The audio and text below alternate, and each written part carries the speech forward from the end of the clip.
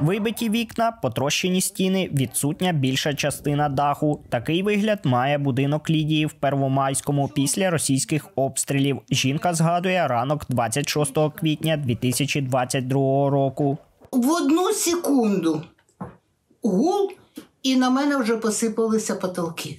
Ви знаєте, це шок. Я схватилася, у мене коло кроваті на тумбочці там лежала полотеночка і все. З мене е, кров. Зараз живе в літній кухні. З відновленням її будинку вирішили допомогти волонтери Добробату. Частину матеріалів надала місцева влада. Інші ж були закуплені за донорські кошти, які зібрали нідерландські волонтери на благодійному фестивалі танго в Амстердамі. Говорить волонтер Юрій Осіпов. Сума мала бути 380 тисяч, але зібрали до так скажемо чуть-чуть більше 100 тисяч. Але їх хватить, щоб відновити оцей будинок. Тобто відновити лише покрівлю. Так як буде покрівля, вже потім будуть вікна, двері і все інше.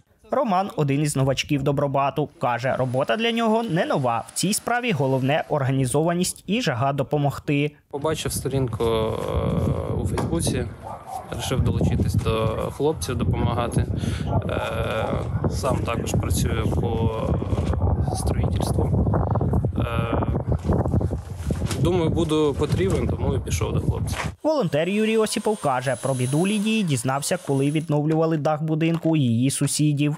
Будинок зараз робимо покрівлю. В майбутньому будемо встановлювати вікна і вже внутрішній ремонт.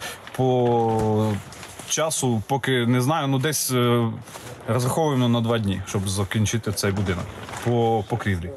До процесу відновлення надалі планують залучати й інших волонтерів. Вже є зацікавленість від деяких організацій, розповідає Юрій Осіпов. В Первомайському вже відновили покрівлі приблизно в 30 будинках. Назарій Рубаняк, Суспільне новини, Миколаївщина.